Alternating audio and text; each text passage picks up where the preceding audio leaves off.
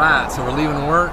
Uh, we're gonna work on a swim adventure tonight. It's gonna be pretty interesting to say the least.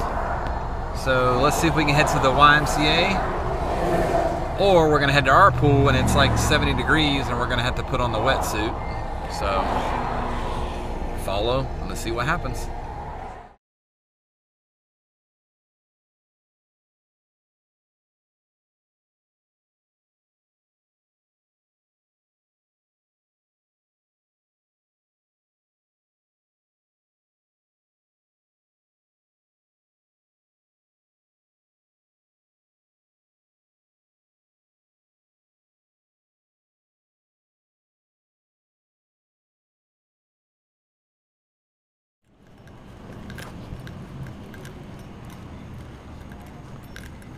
All right, we're going to the Y, so we'll be in here in just a second.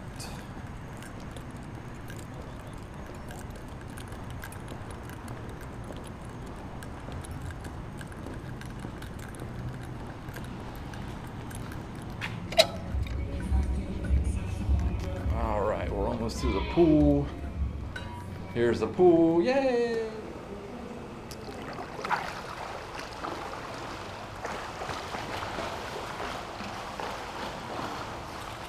All right, so we had uh, 221 pace, and we did 2,500 meters in an hour. And today's technical tip is going to be when you're swimming, keep your legs together, uh, you know, where they rub almost, and when your legs extended, give it a little bend when you kick. And always remember, four strokes, breathe, you know, to the left or to the right, depending on, you know, what you can do. So let's get out of here and get changed. All right, we're leaving the Y, going to the car. That was just an excellent, excellent swim.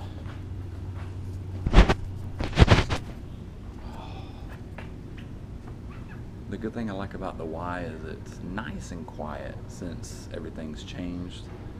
There's not a whole lot of people that come, so you pretty much get the pool to yourself, you get a gym to yourself, you know, you get a lot of things. So let's get out of here and get home.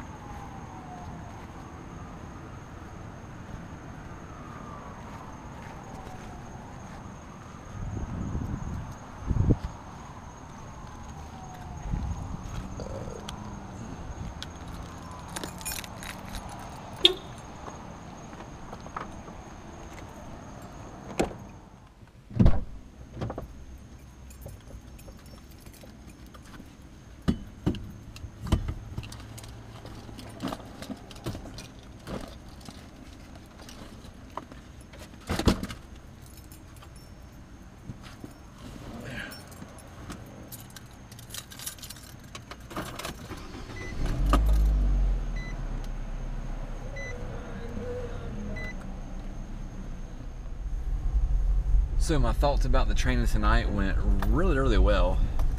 Uh, I got this thing that I've been trying where I don't look at my watch. I do it like a blind pace, just to see if I can get a feel for, you know, how my body reacts to a certain pace. And I was perfect. I wanted to do an hour. It's like a 213 pace, I think, 212 pace, something like that, nonstop for an hour exact.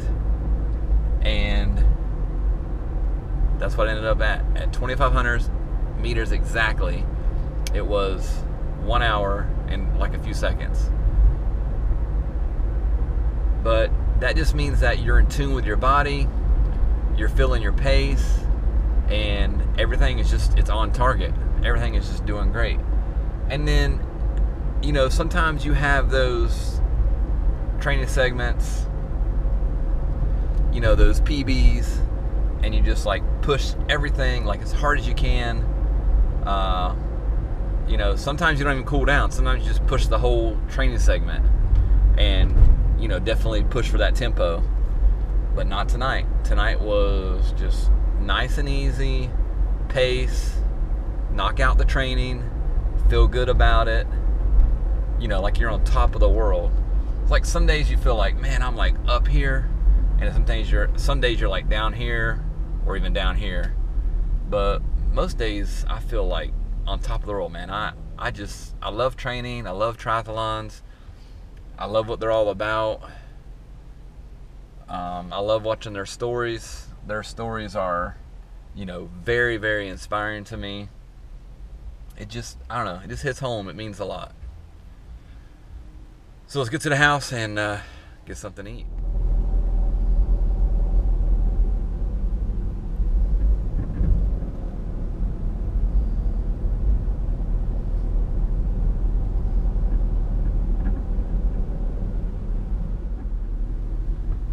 All right. Well, that's going to be the video tonight, guys.